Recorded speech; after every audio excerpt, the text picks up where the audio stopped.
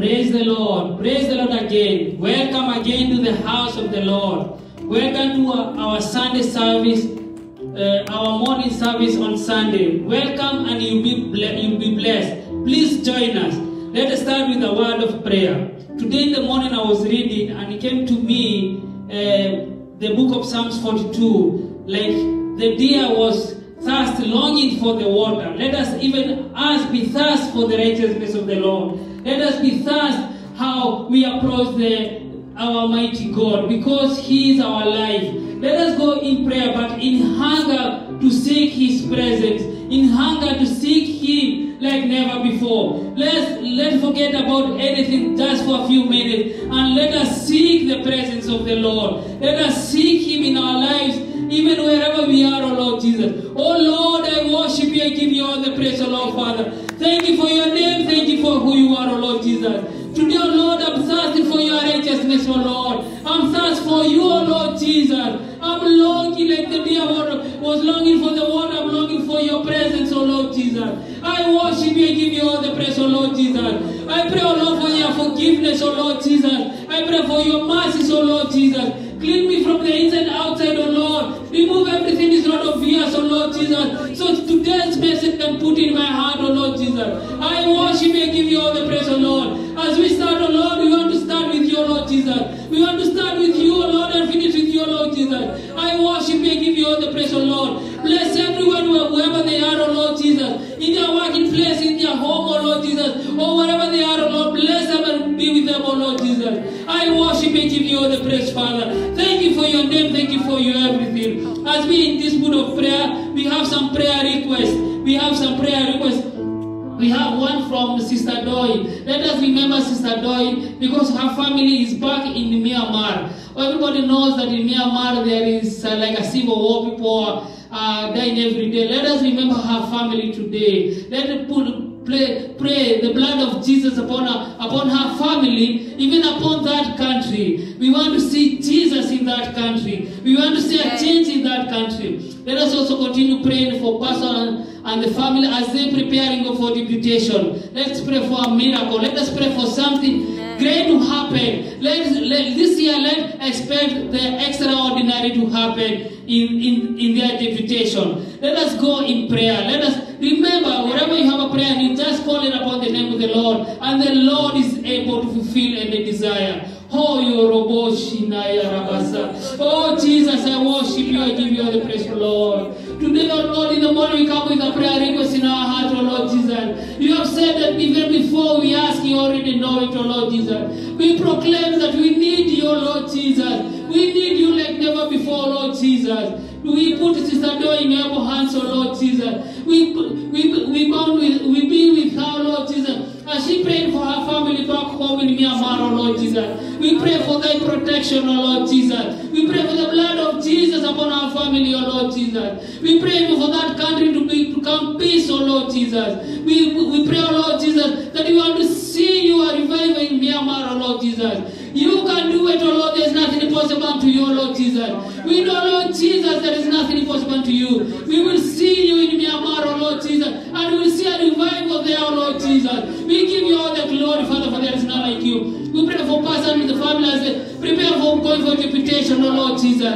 We pray, oh Lord, to do something great, oh Lord Jesus. Let something new happen in their lives, oh Lord Jesus.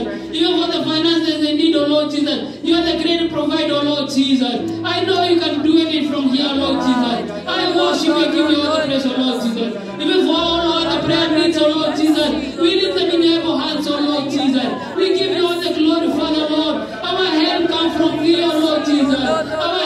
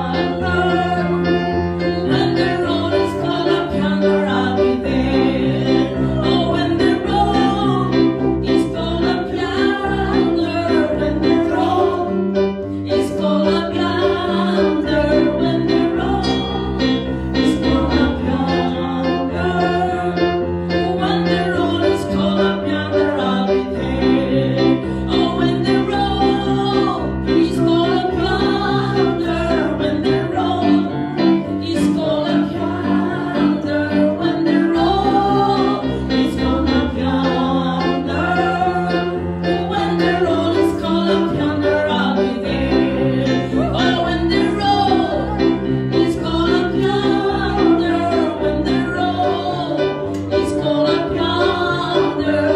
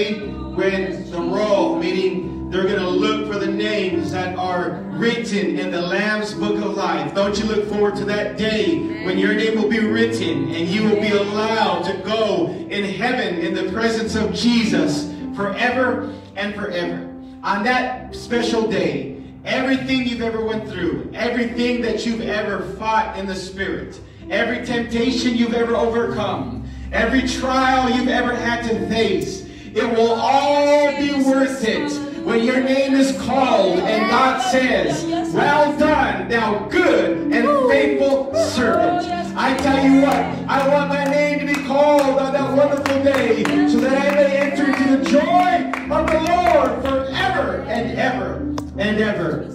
Praise God. That is our hope. Promise. And we look forward to that every single day.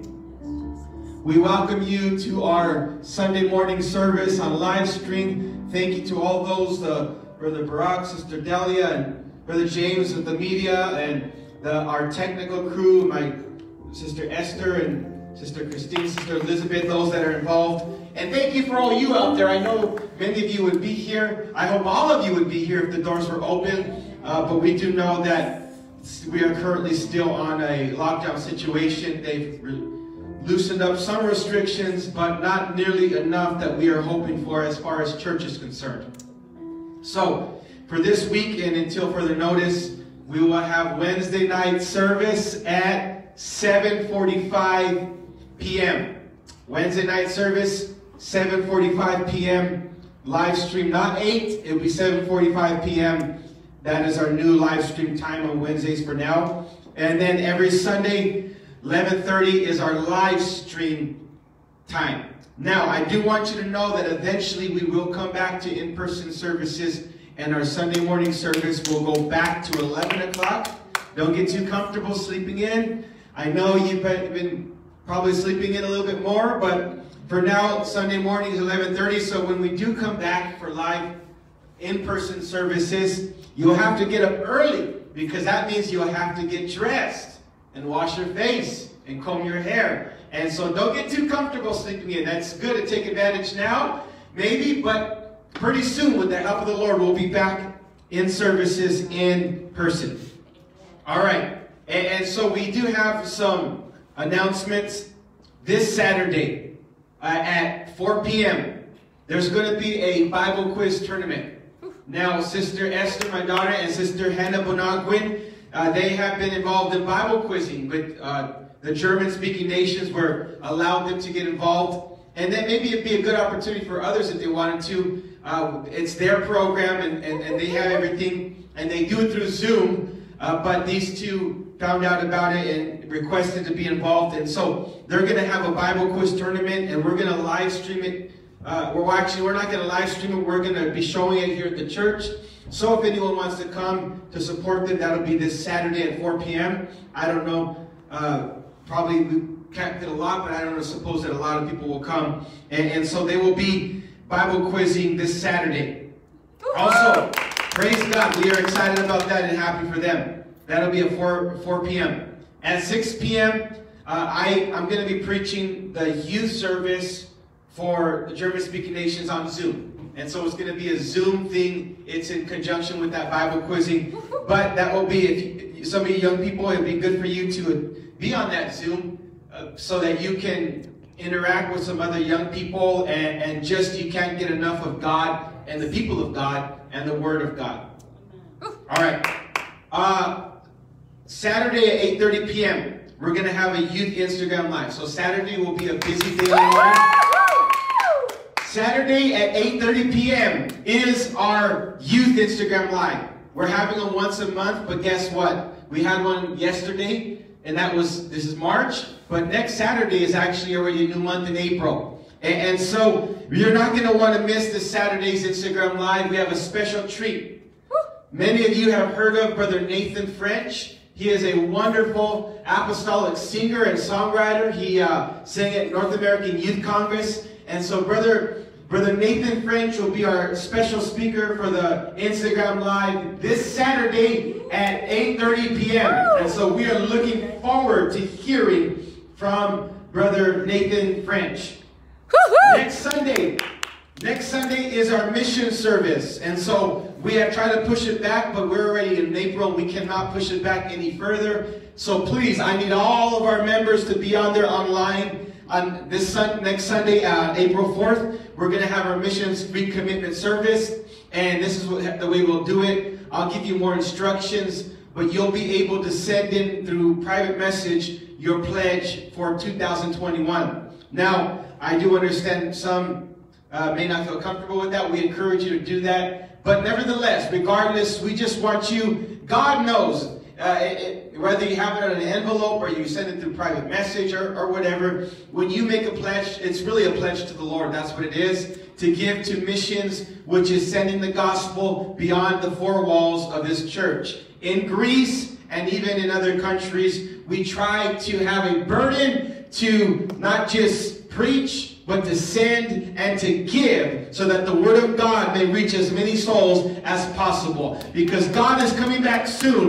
And Lord Jesus, as many souls as we can bring into the kingdom any way that we can, we want to do it in the name of Jesus. We ask you to please continue praying for us. We are preparing, as you know, for deputation not till July, but we're believing that God's going to significantly decrease that.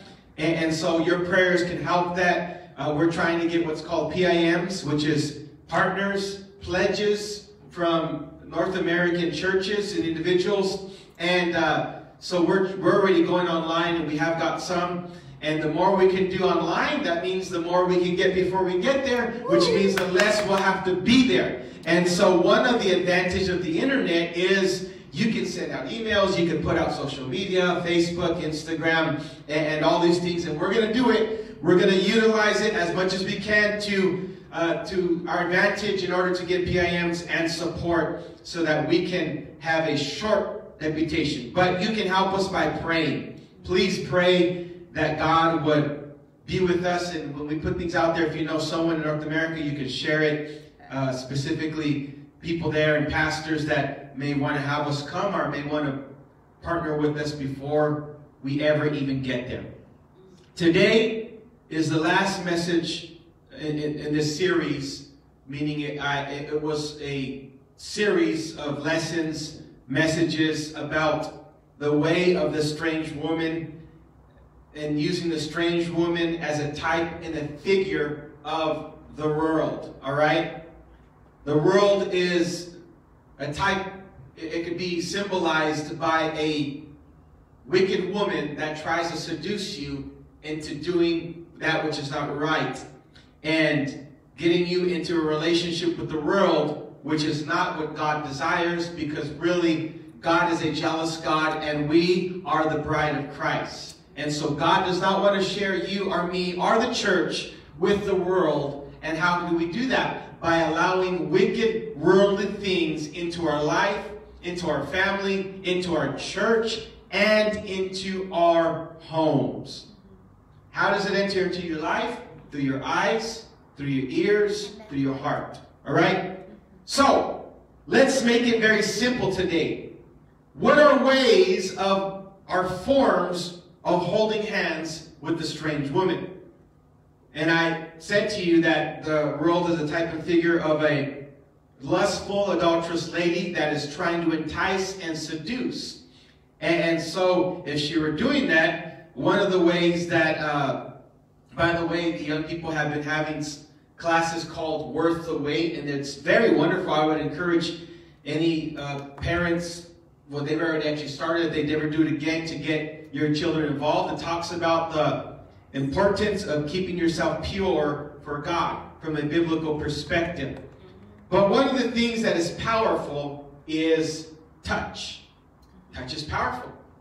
Uh, that's why, you know, even in the altar, a man praying for a woman. I, I, I tell our ministerial team the best thing to do is if you lay hands on their head. You know, even if you're praying for a woman, you don't want to be hugging her, rubbing the back, none of none of that stuff, because even in a situation like that, touch is powerful and touch can stir up emotions. And so I think it would be very, very appropriate to say that, Pastor, it would not be right for you to be holding hands with another lady other than my wife. Of course, at times with Esther, like Naomi and my daughters, you know, we're, I'm their daddy. But what if you, what would you do if you saw a Pastor walking down the street just holding hands with another lady? You'd be like, what's going on here? That doesn't seem right. That's not, Sister Christine would probably put up her fist, you know, and get mad and say, that's, that's my man. and, and so, the same way with God. How do you think God would feel if you're his bride, as the bride of Christ, and he saw you holding hands with a wicked, strange woman? But that is exactly what happens when you flirt with the world and the things of the world. You arouse the jealousy of God because God said you're supposed to be holy and separate. And so, ways that you can hold hands with the strange woman are through music. You know, music has an effect upon you. Music is, it affects your mind and your spirit. And so, when you fill yourself with ungodly music, it can affect your spirit. Even the way you talk. Uh, of course, curse words and cuss words, of course, we know that is not right and that should not come out of the mouth of a, of a Christian. But even worldly talk, talking about worldly things, uh, talking about uh, immoral things and telling jokes that are not godly. Those are, that's the way the world talks. You know, if you've ever worked, I used to work at the hospital. I don't know if I've shared this story, but there was a coworker of mine, a man, that he loved to tell bad jokes about ladies.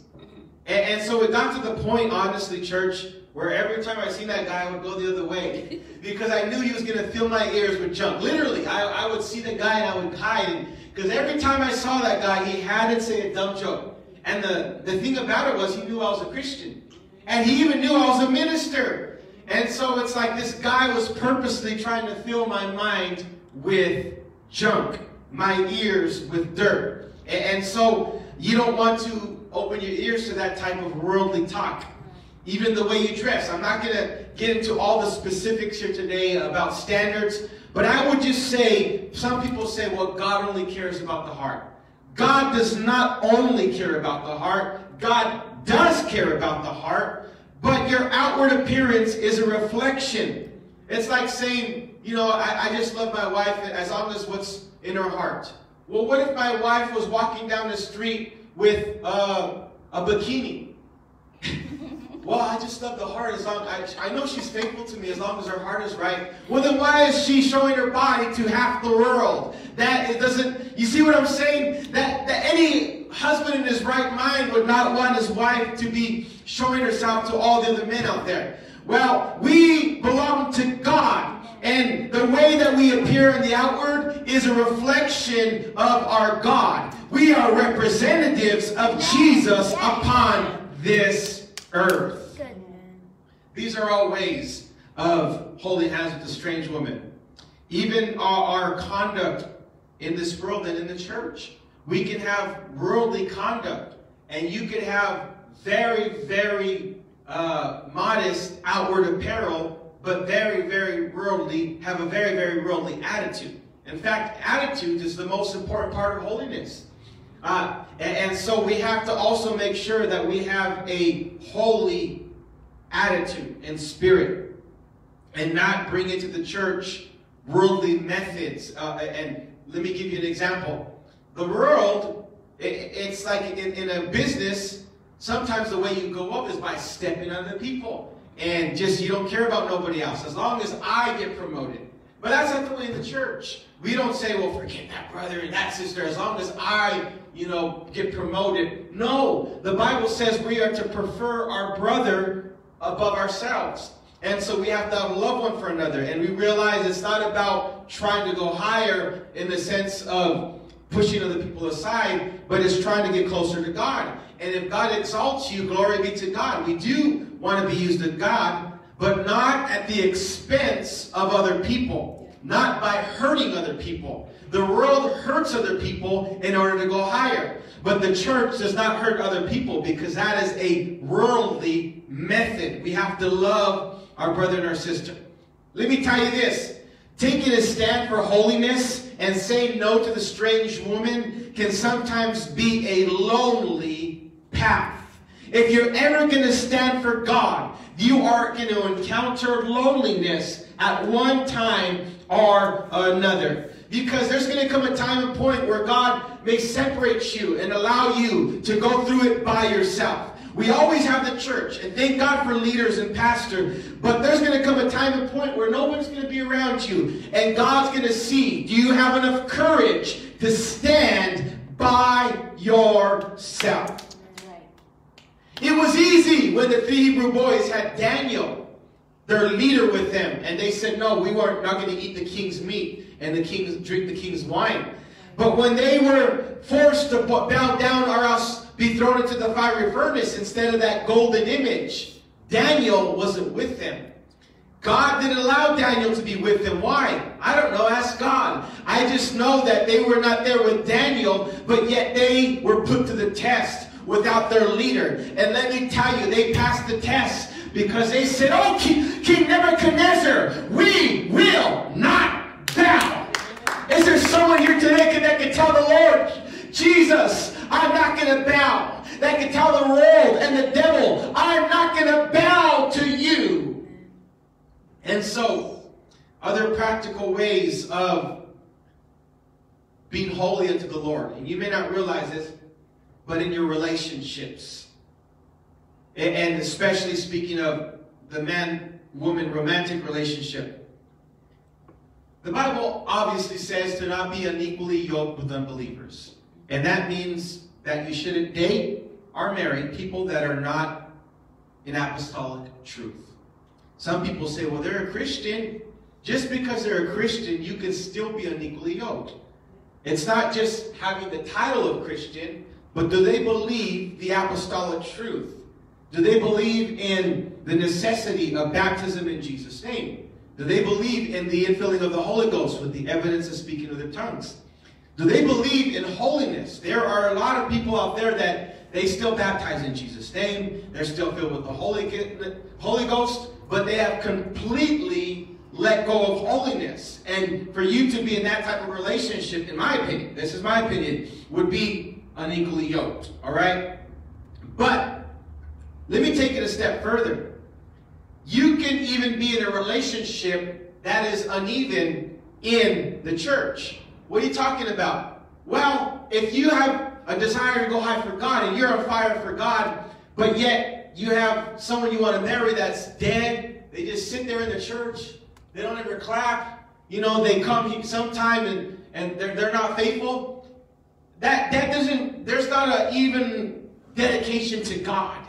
And, and so that is a part of our walk with the Lord. Let me tell you this. The person that you like speaks volumes of your spirituality. If somebody came to me and said, Pastor, you know, I, I'm really on fire for God, but I want to marry this lady, and, and, and you see that, and I see that person and they're dead or they're, they're deaf, they don't pray at all. I'm like, you don't have to tell me. That speaks volume of your spirituality because who you are attracted to speaks volumes of what you desire in life. If somebody's attracted to an unspiritual person, don't tell me you're spiritual, but the person you're attracted to is unspiritual. Because if you're spiritual, you're going to be attracted to spirituality. You're going to want someone that has a common dedication and desire for. Proverbs chapter 6, verse 9 says this. The psalmist said, or not the psalmist, the wise man said, Proverbs, How long wilt thou sleep, O sluggard? When wilt thou arise out of thy sleep? Why? Yet a little sleep, a little slumber, a little folding of the hands to sleep. So shall thy poverty come as one that travaileth, and they want and thy want as an armed man. Let me tell you that that strange woman will try to lull you to sleep. Now, I know maybe it's a guy thing, I don't know, a boy thing, but I know Judah, you know, he loves to be in mama's lap. When, he, when Judah wakes up, the first thing he wants to do is go straight to my wife. And we're, we're always, when he wakes up, we're praying there in our living room. And then you want to you want to sit on mama. Not daddy, but mama. And, and he loves when she plays with his hair. And, and uh, that, you know, he just loves that. And even me too, if, if my wife begins to play with my hair, I'll fall asleep. I'll, I'll feel so relaxed. Because there's something soothing. There's something that just puts you to sleep. And, and maybe that's what Delilah did with Samson. Put her hair through, her hands through his hair and he just, you know, started falling asleep. But that strange woman will lull you to sleep and desensitize your convictions. Little by little, the world will try to put you to sleep spiritually and take away this conviction and that conviction. And little by little, where once you were a separate apostolic, now the devil wants you to look exactly like the world and take no stands for separation. But you cannot allow the devil to let you fall asleep spiritually. You got to stay awake. You got to stay aware. You got to understand that there's a devil that's trying to destroy you, and there's a world that is trying to contaminate you and to get you to lose your relationship with. That is one of the tactics of the world, the strange woman. Instead of trying to get you to just backslide in one day, little by little, she gets you to try to fall asleep spiritually. And you take one step away from God, and another, and another. And before you knew it, you're just totally opposite. I, I have seen it in my years walking with the Lord, and some of you have too. People in churches that once stood for truth, they begin to let go of things here and there. And now you see him, see them, and you would not even know that they are apostolic Pentecostal. Their identity, their holiness, their separation, it's gone. Because little by little, they let the devil take away this and take away that. But we got to stand guard and say, devil, we are going to stand for the Lord Jesus Christ, and we are going to be pleasing unto the Lord. Samson followed that strange woman, literally. Strange women, actually. And he got caught in the end. Judges chapter 14, verse 1. And Samson went down to Timnath and saw a woman in Timnath of the daughters of the Philistines.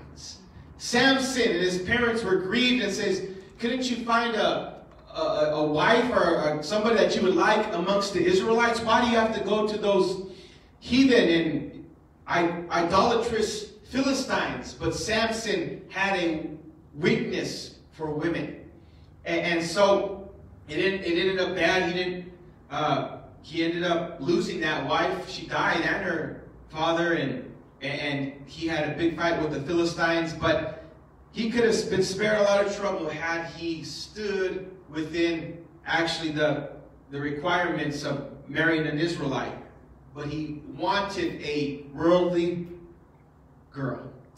Judges 16.1 Then went Samson to Gaza, and he saw there an harlot. Now, the first Philistine lady, that ended up a disaster. And now in Judges 16.1, he goes down to Gaza and he sees a, a prostitute, a harlot and he went in, went in unto her. And so Samson could not stay away from those strange women. And this last strange woman is the one that was his destruction. He met Delilah, and Delilah, she went after to, she was paid, and she went after to, to find the source of his power, the source of his strength. And finally, through her enticing, as I said, I don't know, maybe she rubbed her hair through his hair. Maybe she batted her eyes at him. And maybe, you know, she, she gave him all this soft talk. And finally, Samson gave her the secret to his strength. And he expected to rise up out of there with strength and defeat the Philistines. But he realized that his strength had gone. They took him. And the first things those Philistines did was they plucked out his eyeballs. They, they took away his eyesight. The devil will blind you to make you think you're all right. One of the first things that he will do, and I'm talking not, I'm talking about people that give in to worldliness. You know, they, they, they're very defensive. I, am all right. You know, well, God sees my heart. Uh, you don't need that. They're very defensive. They're blinded to think they're all right, even though they have began to let go of righteousness and holiness. You'll see it again and again, that defensive spirit, because uh, the devil has blinded them to think they're all right when they're really not. And then the, the Philistines, after they had blinded Samson, they got him and they began to put him to work grinding for them. And so after that, the devil blinds you through the ways of the world. He will get you to do his work. What are you talking about? Uh, people that, that get that spirit, they're not satisfied just for them to be worldly, but before you know it, they seek to influence other people. And they whisper in other ears and they say, You don't have to do that. You know, the, the, the, you don't have to be holy. You don't have to be separate. It's not enough for them to lose their holiness, but they want to influence as many other people as possible to let go of holiness. And in actuality, what they are doing is they're doing the devil's work. They're taking people away for the devil. And, and, so we don't want to be like that. We don't want to allow that to happen, but we want to be aware of the tactics of the world and the devil. I wonder, the strange woman, all eh, that, that whole passage in Proverbs written by Solomon, most likely. I wonder if Solomon knew that he was nearly prophesying and observing his own life in the future. Because do you know that Solomon had over a thousand wives? And in his older age, his wives caused him to worship idols and to turn against the God of Israel. Could it be that somebody that wrote about it, that preached about it, fell into the trap that they warned others about? I want you to know this morning that him that standeth take heed lest he fall.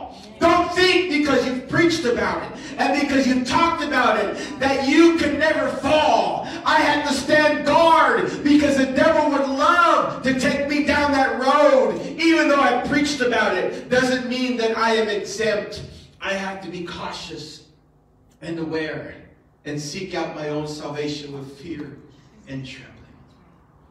When you get the spirit of the world in, into you, you get the spirit of Antichrist into you. Now, don't misinterpret me.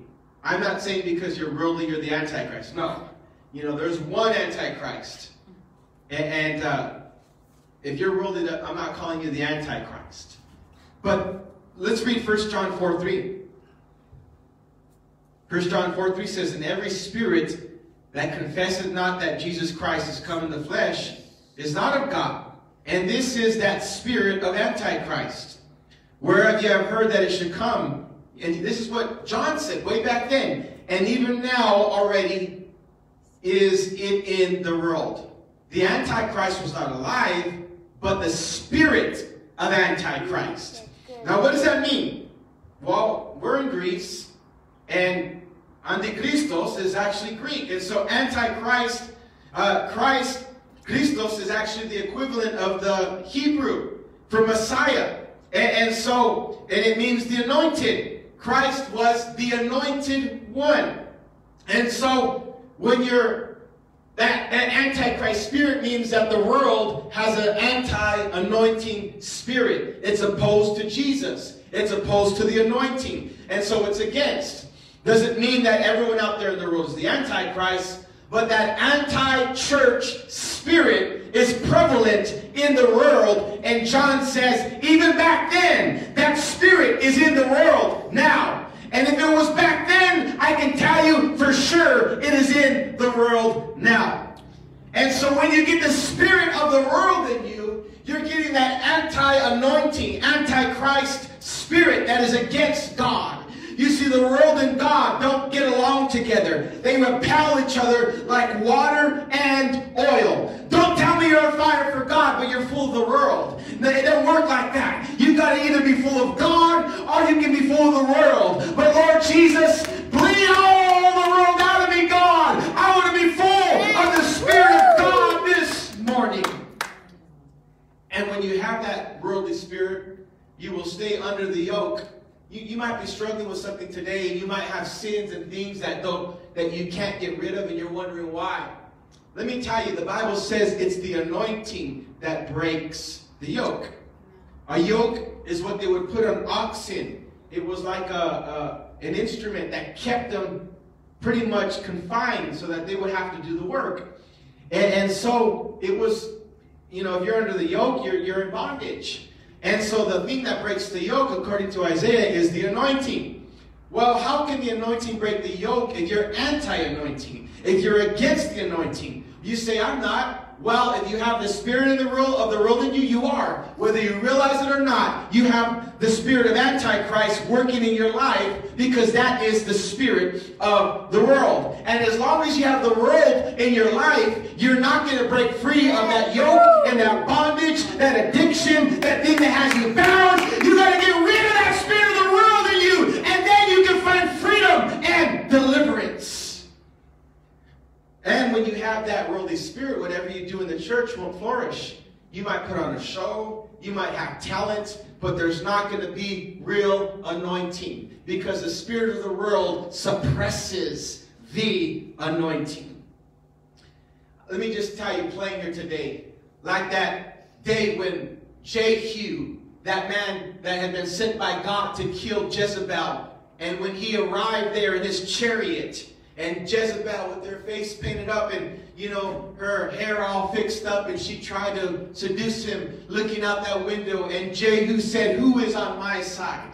And those Ethiopian eunuchs slipped out and they threw Jezebel out the window. She fell. And the Bible says he trod her underfoot. He, he basically ran over her with his chariot. And, so, and he tramped, he threw her, they threw her out the window and he trampled her underfoot. You got to get that spirit of the world. You got to throw it out of your life. You got to trample it down and say, God, whatever's holding me back, I'm not going to flirt with it. I'm not going to play with it. I'm going to get rid of it. I'm going to stomp it down underfoot. Whatever's in my life keeping me back from you, Lord God. I don't want it no more, Jesus. I don't want the world. Let the Holy Ghost speak to you today. I know we're distant. I know I can't see your face, but God can see into your spirit. And could it be there are things in your life that you're holding back and you're hiding? And you can't hide from God, but these things are hindering your walk with God. I'm not perfect. Don't claim to be perfect. But I'll tell you what. I, I love revival. I want revival. And I love holiness. Yeah. I don't believe it's revival if you get people, but they but you just water them down with false doctrine. That's a crowd. That's not revival. True revival comes with souls that have a revelation of truth. And part of truth is holy living. It can happen. It happened in the days of book of the book of Acts, so why not now? Amen. Now, I need you to pay close attention to me, all right? I'm going to go slow, slow it down a little bit, but I, I want you to catch this understanding and this revelation.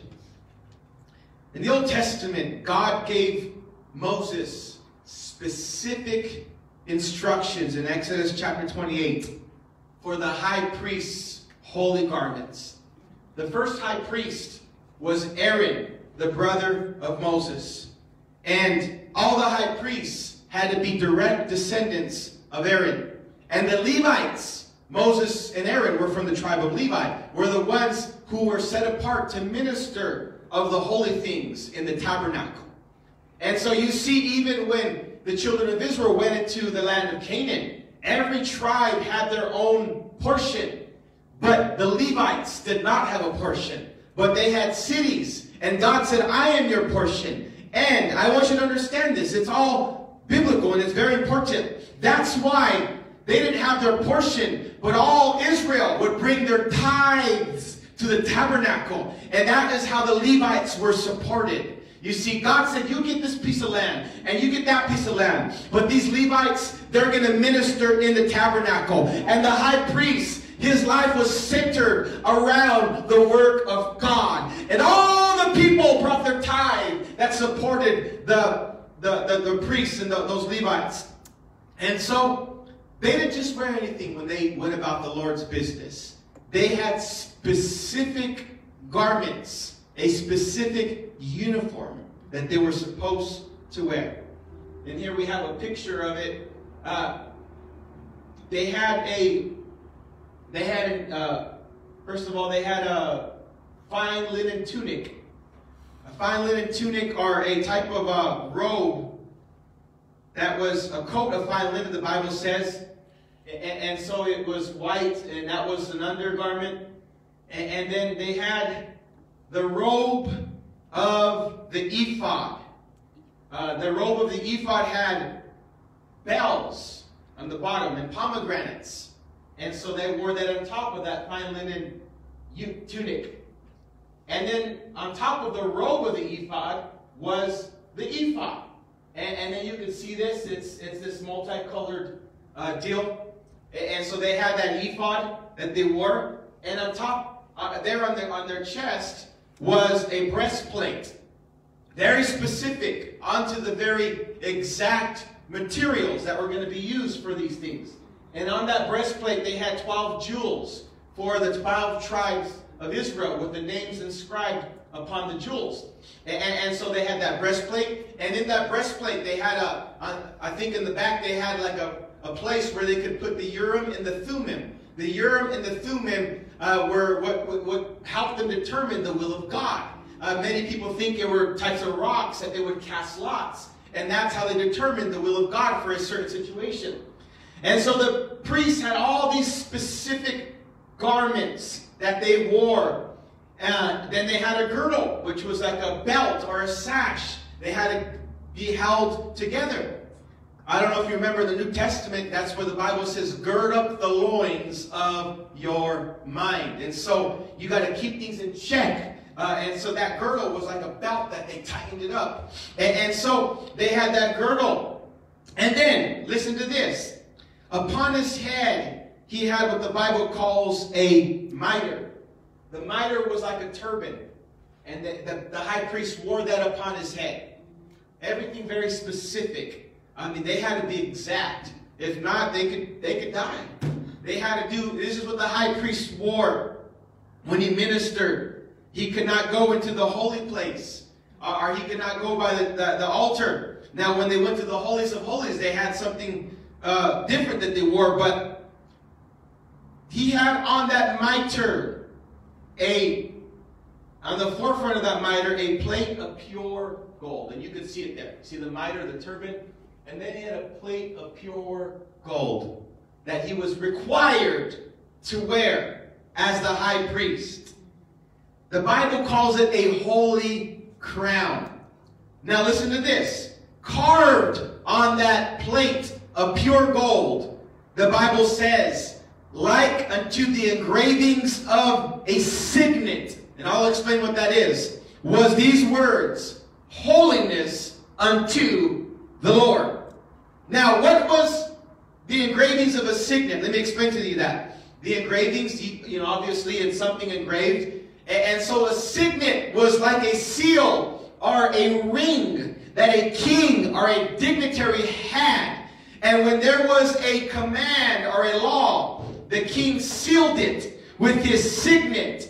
And that was irrevocable. It was not reversible. That's why when Daniel was when they tricked the king and they said, if, if anyone prays, then, you know, then, then can you seal it that they'll be thrown to the lions then? Even though the king loved Daniel, he could not reverse it because it had been sealed with the signet of the king.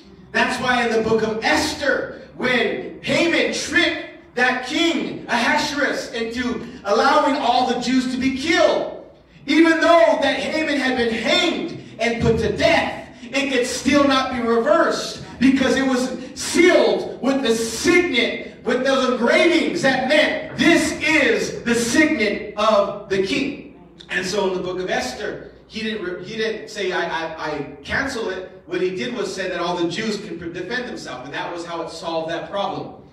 And so, I need you to understand this because a signet was the seal of that specific king. Nobody could copy it. Nobody could counterfeit it. It was a mark that that was that king. The mark of this king or that king. And so, I, think it's so revelatory and so important today that like the marking of King of King, the King of Glory, King God, that that high priest had a golden plate with the mark of the king upon his forehead. And the mark of the king was holiness unto the Lord. It had to be in his mind. It had to be in the forefront of his head, or else he would die. He had to go into the presence of the Lord with the mark of the king. Holiness unto the Lord.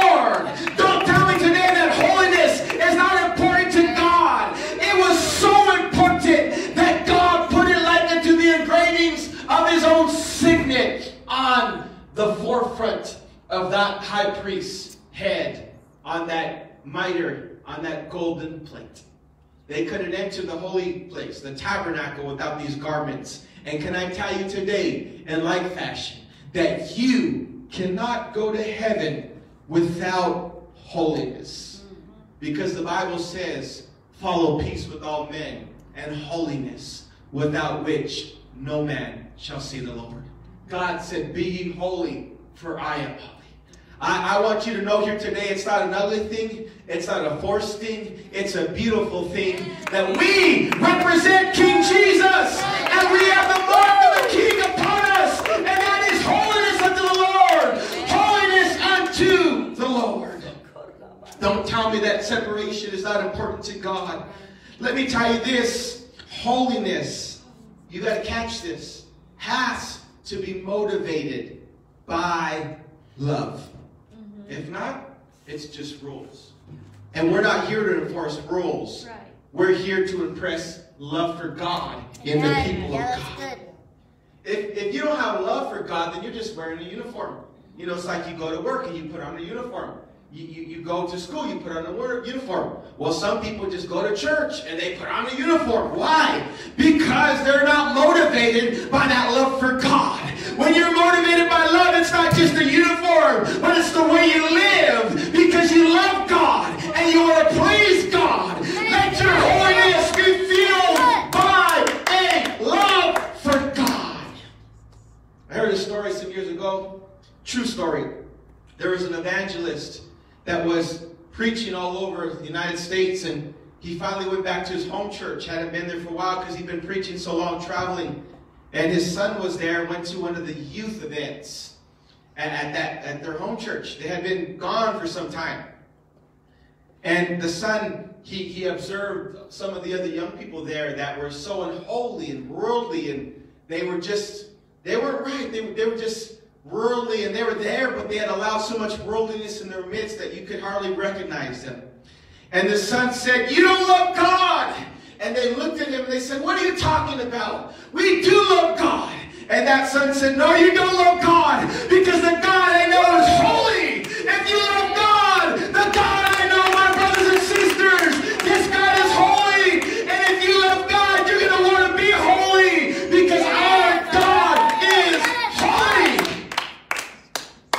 When my wife and I were boyfriend and girlfriend some years back, uh, I, I remember, you know, we're getting older now. We're, we're not there to the retirement years yet, but we are not as young as we used to be. Um, we're still relatively young, but I remember when we were boyfriend and girlfriend, and uh, I remember my wife has naturally curly hair, and I remember times when I would I ask her to wear her hair down, and my, my heart would just skip a beat. And I remember she did, and now, of course, you know, she's still beautiful and uh, she's still lovely. And, and, you know, she's had three children now, and, you know, your body and your hair changes. Some of us lose a little bit, and, you know, especially some of us brothers may know what, you, what I'm talking about. But I remember when I would ask her that and she would wear it, it would just bring such a delight to my heart. And I guess I'll give you this secret also. Uh, we've been married so long, not really long, but we've been married en- enough that for the most part now, my wife picks my clothes. I don't even, I don't, I don't know what I'm going to wear for Sunday, so she picks it, she irons it. I, I, I can't even really buy a tie without her there because she's the one that matches everything. Well, why? Well, there's no lady I want to really please in this life other than my wife anyways. And so why not let her pick because she's the one I dress to please. Well, it's the same way with God. If you really love God, then you dress to please God. If you really love God, then you talk to please God. If you really love God, then you think and you act to please God. And that is the attitude of holiness that you have to get. That, Lord, I love you and I want to bring pleasure to you, God, in all that I do, in the way that I dress, in the way that I talk, and the things that I do, and the things that I say, God. Lord Jesus, I pray today that a love for God and holiness would rule and reign our lives. I'm afraid that some have gotten the wrong concept. And some think it's just about, I have to do this. And it's just about rules. And I'm forced to do that. Let me tell you, you've got it wrong. Would you get a revelation today that it's about love for God? And we are the chosen people of God. God separated Israel out of all the nations in the world at that time. And they were his special people. And you and I are nobody. We're not Jews. But I thank God that God separated people from amongst the Gentiles that would, that would be obedient and be baptized in his name. And now we are the special people of God. And it is an honor to live for God and an honor to obey God's word. I'm going to come to a close here today.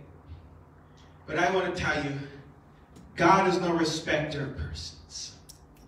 Whether you have multiple generations or your first generation in apostolic Pentecostal truth. I think of the heritage that I have been given, and it's only the grace of God. I, I you know, I my great grandfather, I think it was around the year 1932 or 1933 or so. He was a 19 year old orphan, and that 19 year old orphan boy, he, he came into apostolic truth, was baptized in Jesus' name, filled with the Holy Ghost. He started churches in California, won pastors and pastors' wives to the Lord that are now serving God to this day. And he got married with a young lady that her and her mother and her grandmother were all in this apostolic truth. One God, Jesus' name. And so when I go down the list from my great grandmother's side, anyways, because it's her, her mother, and her grandmother, little Judah, Esther, Naomi, seventh generation, apostolic, Pentecostal truth. And I'm not saying I'm greater than nobody because somebody could come in first generation and it's not a, it doesn't matter your generations it matters your dedication and your personal zeal for god. But let me tell you there's people before us that sacrificed for this truth. There's people before us that were persecuted for this apostolic truth don't you ever look at it and disregard it and think it's something uh, I, I, I don't like to be different. No, it's a pleasure. There are people that lived for God and spoke in tongues when it was not popular. We got to appreciate this heritage that we have. And until you come back, Lord God, we're going to pass it to the next generation. We're going to pass it to new, new converts, God. We love this apostolic truth and holiness unto the Lord. Right now, let's lift up our hands and let's seek the Lord right now. Let's just pray and worship God as they sing unto God.